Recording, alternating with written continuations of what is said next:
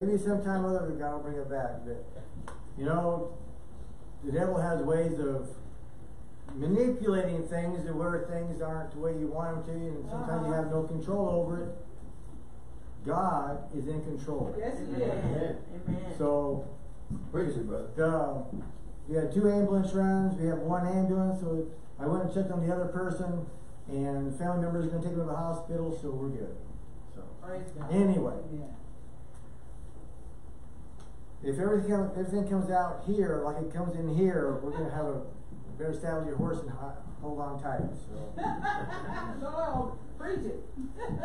You know, I meet a lot of people, I know you do too, that uh, quote scripture, but you go look at, it's not exactly the way the Bible says it is. They quote scripture kind of part way and they change it, it didn't always mean the same thing. So, kind of backward. Yes. Yes. Anyway, so today we're going to talk about hiding the word in our heart. The enemy, if he had his way, would destroy each and every one of us. Amen. He tried with Jesus. He tempted, he used the word of God against Jesus, but Jesus knew the word and used it against him. Amen. So if we don't know what the scripture says, when Satan comes to us and tempts us, sometimes it may sound okay, it might be okay. You know, it didn't talk about that exactly in the Bible, so it must be okay. You know, there, sin can be divided into three basic categories. The Bible says it's the lust of the eyes, the lust of the flesh, and the pride of life. All three of those things, the sin will fall into one of those categories. Uh-huh. You know, and we have to get this flesh under control. We have to get it under the blood. Oh, yeah. Paul, one of the greatest apostles in the Bible, wrote two thirds of the New Testament says, I crucify the flesh daily. Mm-hmm. Those things that I want to do, I don't do. Those things that I don't want to do, I do. Oh, wretched man that I am. That's Yes. a par- paraphrase version of it. He struggled with it. Jesus is the only one who is without sin, the only sinless one. Romans 3.23, for all have sinned and come short of the glory of God. Romans 6.23, you know, says that the wages of sin is death, but the gift of God Mm-hmm. is eternal life through Jesus Christ our Lord.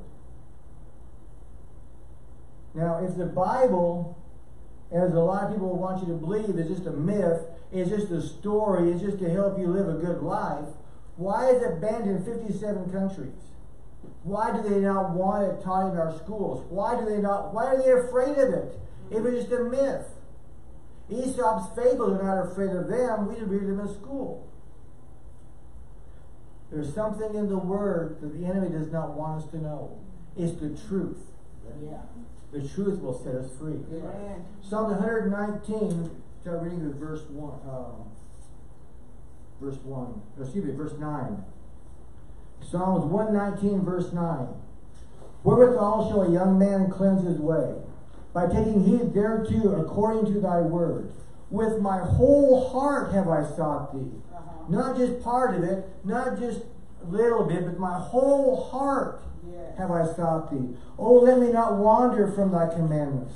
Thy word have I hid in my heart, that I might not sin against thee. Blessed art thou, O Lord. Teach me thy statutes. Amen. With my lips have I declared all the judgments of my mouth. I have rejoiced in the way of thy, of thy testimonies, as much as in all riches.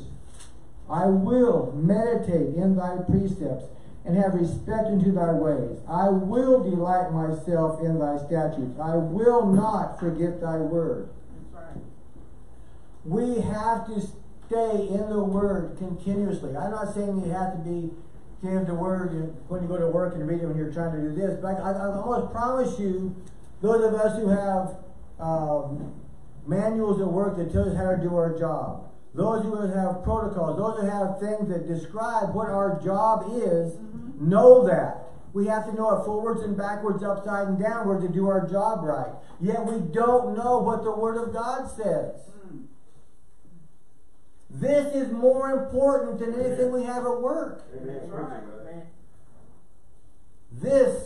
If we will follow it, will get us to heaven. Yes. It might get us promotions and raises and stuff like that, but that's not what we're here for. We're here to see souls won to Jesus Christ. Amen. I kind of think of sometimes Christianity is like going to the swimming pool or to the ocean. You stick your foot in, whoop, you, you gotta get your foot in there, though, you get foot kind of used to it, and you know, you get up to your knees and the wait. Uh-huh. No, no, no, no, that's, okay. You know, I got just lucky. I was at the ocean. I did good. I went, I went to the lake. You know.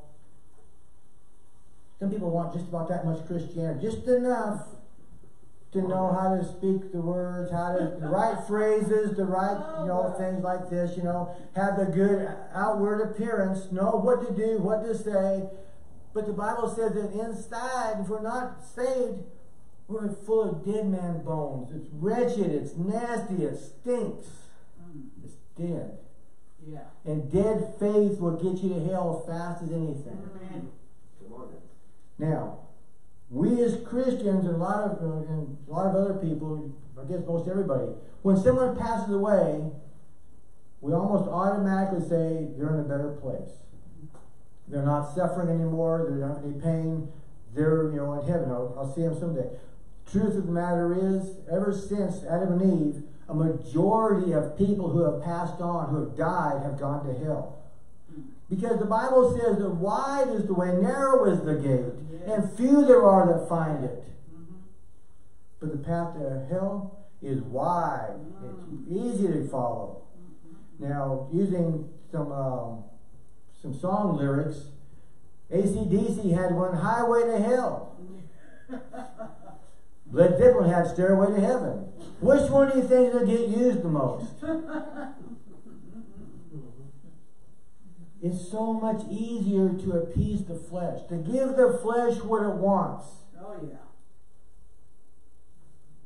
We aren't just thrown into deep sin. You know, it's like testing the water. You know, that wasn't so bad, you know. The Bible says he who sinned, you know, will surely die. And I didn't die. It must be okay. You know, when I get older, I'll change. I'll accept Jesus when I get old before I die and enjoy life while I can. We are not guaranteed another second, another Lord, breath. Ooh. Sorry. You know, Sister Pat, you know, I was with her when she got the news, you know, we had talked about him going back to the hospital, you know, and getting some more treatments, you know, getting some other things done. You go to the cemetery, and if, if you could ask those people, how much time did you have to prepare? How much, how much advance notice did you have? Majority of them didn't have any advance notice. They may have known they were sick, they didn't know when their last time was. You know, it's kind of funny. I get, I call, make a, a payment, use my credit card, or you know, buy something. You know, they ask you all the information on your credit card, and they say, when? They ask me, when's your expiration date? Yeah. I don't know. When's your expiration date? I know the date on my card, but I don't know when my expiration date is. I don't know when I'm leaving this world. We could, we might not even get out of this, this service today. Jesus may come back. Possibility. The thing is, are we ready? Do we do we know for assurance deep down in our knower that we're going to heaven? Yeah. We can, but do we? Mm.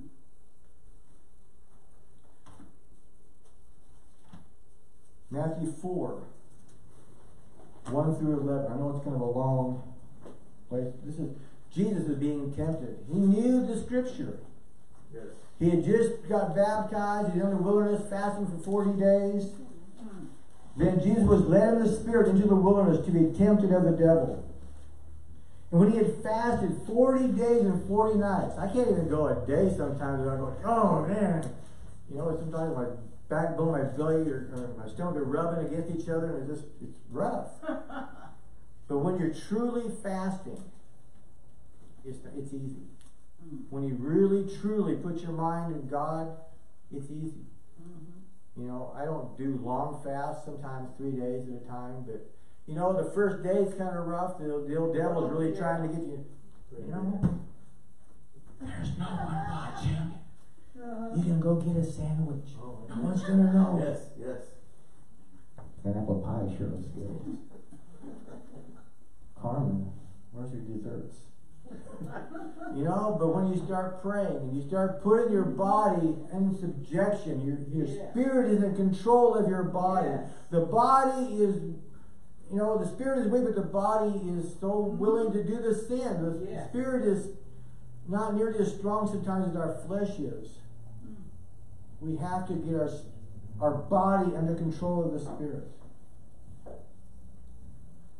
And when he had fasted forty days and forty nights, he was afterward a hungered. And when the tempter, the enemy of our soul, the devil, came to him, he said, If, catch that, if thou be the Son of God, trying to put doubt in his mind. Uh-huh. Yep. You know, he's going to tell to us sometimes, did God really say that? Yeah. Is that really, did he really mean that? Did He did the same thing to Eve.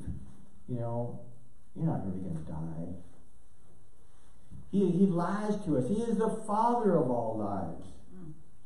If God be the Son of God, command that these stones be made bread. But he answered and said, It is written, Man shall not live by bread alone, but by every word that proceedeth out of the mouth of God. Then the devil taketh him up into the holy city, and setteth him on a pinnacle of the temple, and said to him, If thou be the Son of God, cast thyself down, for it is written, He shall give his angels charge concerning thee, and in their hand they shall bear thee up, lest at any time thou dash thy foot against a stone. Jesus again said unto him, It is written, Thou shalt not tempt the Lord thy God. Again, the devil taketh him up unto an exceedingly high mountain, and showeth him all the kingdoms of the world and the glory of them, and saith unto him, All these things will I give thee, if thou wilt fall down and worship me. Then he said unto Satan, Get thee hence, Satan, for it is written, Thou shalt worship the Lord thy God, and him only shalt thou serve. Amen. The devil leaveth him. Behold, angels came and ministered unto him. You know, I saw a little thing on Facebook about Jesus feeding the 5,000. Yeah. How would that be today? Jesus had the fish and the bread. So is that gluten free bread? Has that fish been tested for mercury?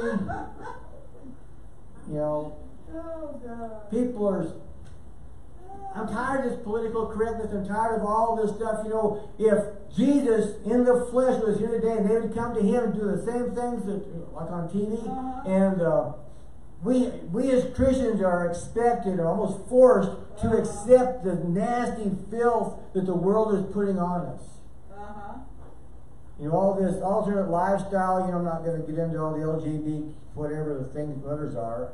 We're forced to accept that, or we are prejudiced, or we are homophobic, or whatever the case may be. You know, it's time we as Christians called it what it is. Sin is sin. Not going to sugarcoat it, not going to, you know, make it look nice with little decorations and frills and stuff. Sin is sin. Doesn't matter what you call it, Yeah. sin is sin.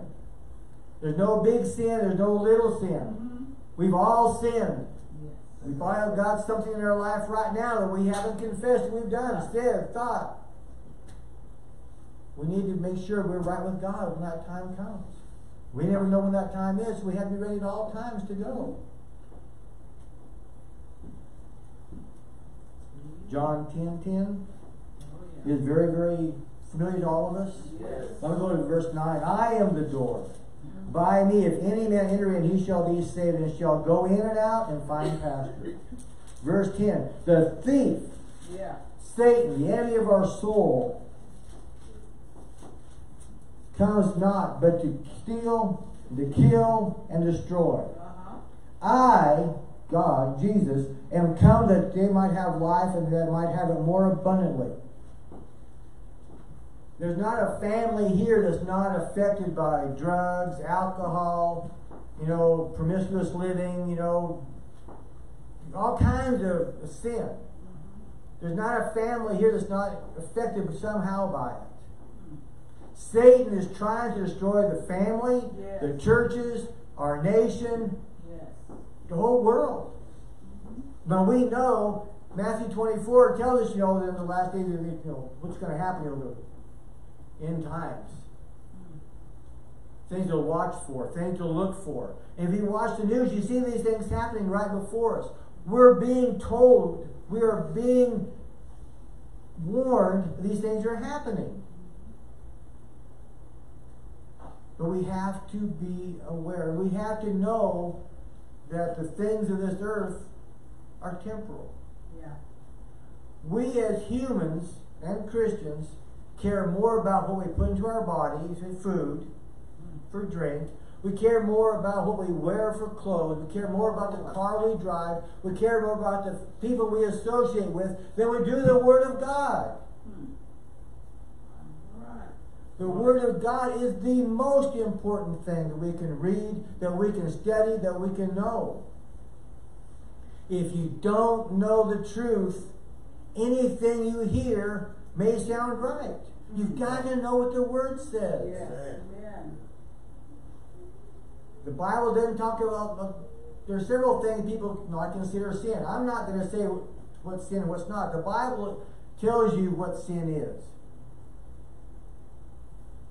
But if you're not sure, there's a good chance it is. If you're doing something or thinking something or whatever, you're not sure if it's right or not, I guarantee it's probably wrong. Uh-huh. Because if it's right, you're going to know it. Uh-huh. Is it? I don't know. I get this voice in my head that I should get an extra twenty dollars in the offering play up over above my tithe, but you know the Bible says ten percent. That's all it says, and the devil's going, no, you can keep that. You know, go to Dairy Queen. You, you don't need that. But God's saying, give it. Oh. If you don't do it, if you don't do what God tells you to do, it's sin. Mm-hmm. You won't get the blessings. He who knoweth to do good and doeth it not, to him it is sin. Yeah. Very, very plain, Matthew seven twelve. Mm-mm-mm. But each and every one of us are called to be watchmen. Ezekiel chapter 33, verses 1 through 6. And again, the word of the Lord came unto me, saying, Son of man, speak to the children of thy people, and say to them, When I bring the sword upon a land, if the people of the land take a man of their coast and set him for their watchman, if when he seeth the sword come upon the land, he blow the trumpet and warn the people, then whosoever heareth the sound of the trumpet and taketh not warning, if the sword come and take him away, his blood shall be upon his own head. He heard the sound of the trumpet and took not warning. His blood shall be upon him. Yeah. But he that taketh warning shall deliver his soul. But if the watchman see the sword come and blow not the trumpet, and the people be not warned, if the sword come and take any person from among them, he is taken away in his iniquity, but his blood will I require at the watchman's hands. You know, if you go to church often enough, you watch TV evangelists, some of them, you have heard the truth. You have heard Jesus is coming. You've heard that since the time before we all could walk, probably.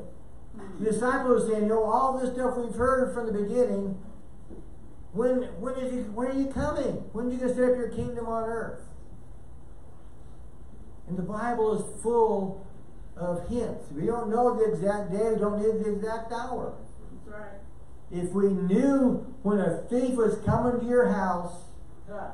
You have the SWAT team and everybody else inside. You have your guns locked and loaded and waiting for it to come in. Once they hopped in your house, then you can shoot. You can't do them outside your house. You got to do it inside your house. Oh, You know, you, you be prepared.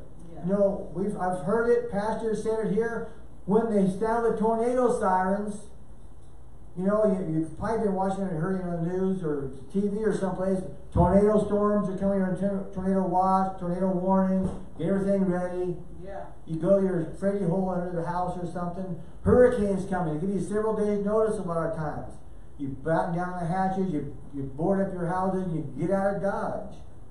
We've been hearing Jesus is coming, right. and we don't do a thing about it. We don't tell our friends. We don't tell our neighbors. We don't tell our family. We don't tell our enemies. We don't tell anybody. All right. I don't want to hurt their feelings. Oh, my goodness. They might laugh at me. They might hurt my feelings.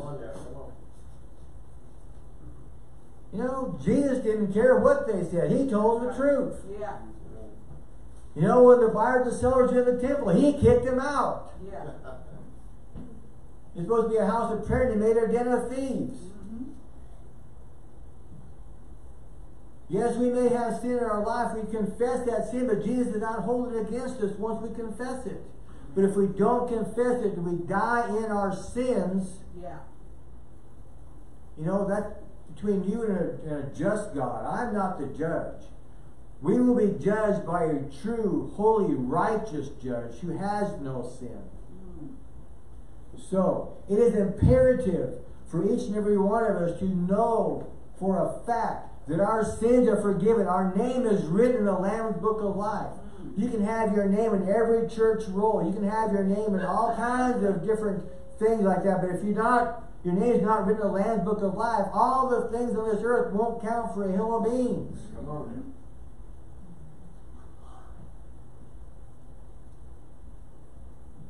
I know I'm, you know, probably talking to a lot of people in the choir, but there's someone who needs to hear this. Yes, amen. I want my name blotted out.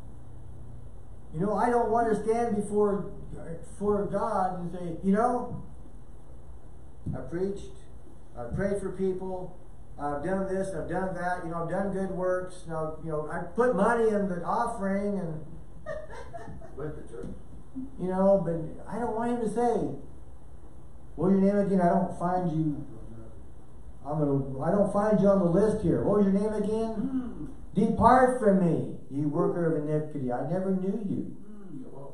You know, you can serve God all your life. The very last minute, you know, say, "Forget it. I want nothing to do with it. There's, it's a lie. It's a hoax. It's a myth." And you die in your sin. God would rather have you live a life. Please don't do this. But take a life someone who's been sinning all their life and accept Jesus on their deathbed, at the last minute turn their back on him. Yeah. Jesus can use you where you are, what you're doing, no matter who you are. Amen. You know, we've all have things in our life that hold us down. But Jesus is here to let you, to free you of all of those things. You know, the, the fear that we have of testifying or fear of witnessing to someone, it's a lie.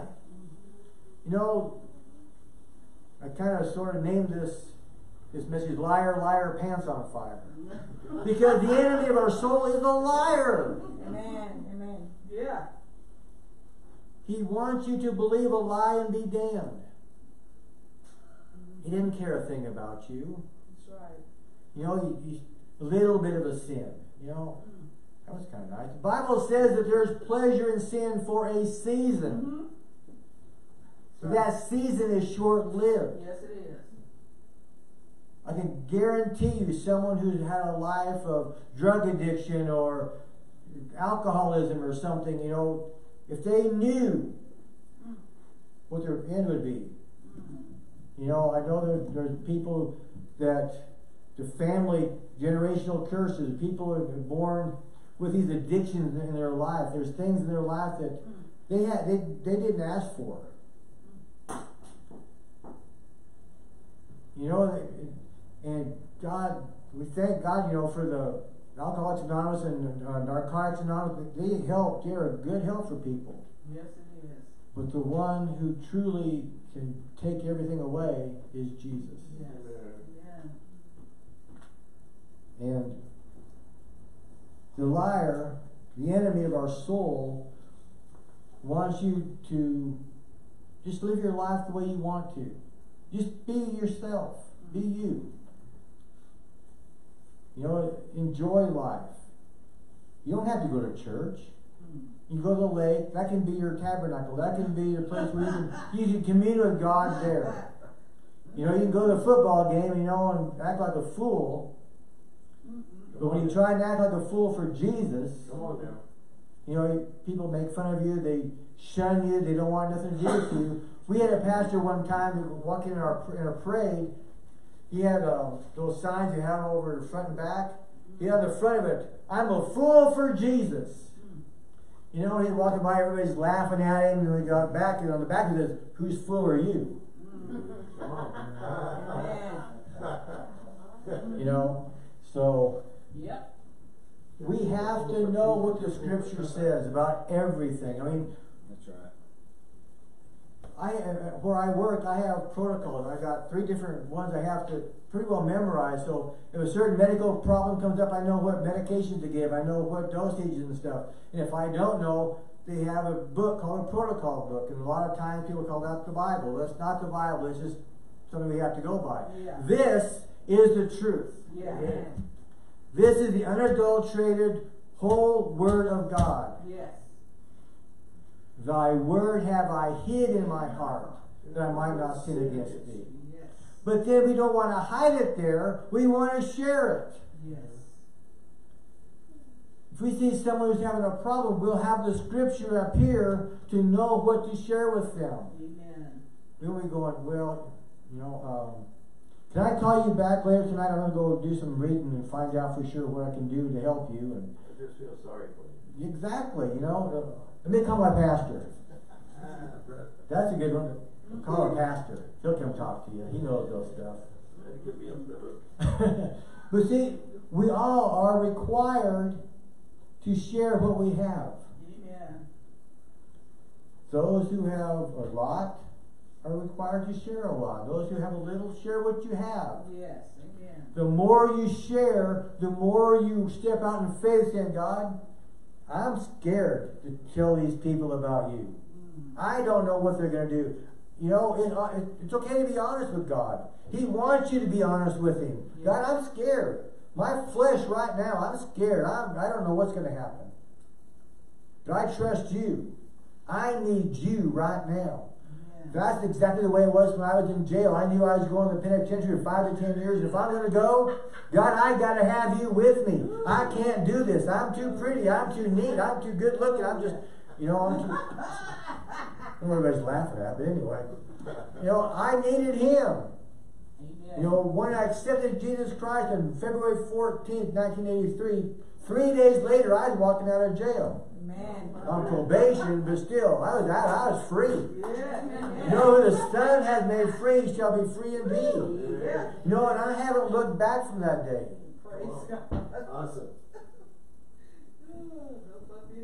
But let me ask you a question. I want you to raise your hands. I don't want you to answer out loud. Are you right now, today, as close to God and a fire for God as you were the day you accepted Him? If you're not, whose fault is that? His fault or our fault? It's ours. He will never leave us. He will never forsake us. He will stick with us closer than our brother. He is calling us. Come unto me. All you're weary, tired, hungry, naked, all this, whatever the problem is, come to me and I will take care of it. Like a mother hen, put your chicks under the wing, protecting them, nurturing them. If we will read His Word, He will show us how to live this life for Him. Amen. This is our guidance. This is our text. This is everything we have need of right here. Amen. But if we don't know it, Yeah. we're going to miss it. If I don't know what my protocols the back of the ambulance say, and I do something wrong and somebody has a bad reaction or I kill someone, You're in trouble. did you not read this? It says right here you're supposed to do blah blah, you know, whatever it was. Mm-hmm. Yeah, well, you know, I thought I'd do better. I thought I'd try something different. I tried to try it my own way. I forget who who did I it. Did it my way. I forget there was a song that says, "Me and God have our own." I did it my way. Well, there's another one that says, uh, "Me and God have our own thing going," or something like that. You know, I know what I'm doing. You know, and Scott was saying, I did it my way. I think that was uh, one of the Rat Pack. I forget which one it was. Frank Sinatra. I did it my way. Well, you do it your way. You're gonna go find your way on your way to hell. You know, you can pack your bags up and just go and be like the the rich man who was there, you know, feasting lavishly. You know, and the poor man, Lazarus, was at his gate and he was hungry. He was waiting for the scraps to be brought out. You know, eating the scraps that fell from the king's, from the rich man's table. Yeah, yeah. Dogs may not even eat it. He got leftovers over the leftovers. Mm. You know, and he said that uh, Lazarus died. And carried up into Abraham's bosom. The rich man died and woke up in hell. Yeah. He looked across the chasm over here and seeing Lazarus said, Father Abraham, send Lazarus, dip his finger in the water and cool my tongue for I'm in torment in these flames. Mm. People don't take hell. Literally, seriously. That's right. That's right. There is a hell to shun, there's a heaven to gain, and we can only do it if we accept Jesus Christ and read His Word. Amen. We have to know the Word. Amen. If we don't do it, we will be deceived. Amen. Quickly, finishing up here. Amen. I've heard that before somewhere. I don't know where I've heard that. Yeah, Time to eat. Let's go out of here.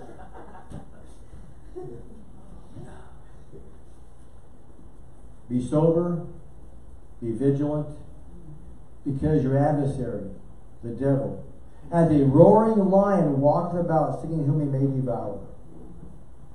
He don't care who you are. Right. He didn't care what you are. Right. He wants you in hell. Mhm. If he has to go, he's going to take as many of him of us with him as he can. If I'm going to heaven, I want to take as many as I can with me. Uh-huh. The more, the merrier, right? You know, I when I was in high school, in college, we always heard, you know, I probably said it too several times. You know, have a big party in hell. All our people, all our friends get together and have a big party in hell. Well, I guarantee you, it will not be a party in hell. There will be a celebration in heaven. There will be a feast like we've never imagined. That's right. Woo! Amen. I'm getting hungry right now thinking about it. The marriage supper of the Lamb. Can you imagine what that's going to be like? But you can only enjoy it if you accept Jesus Christ as your Savior.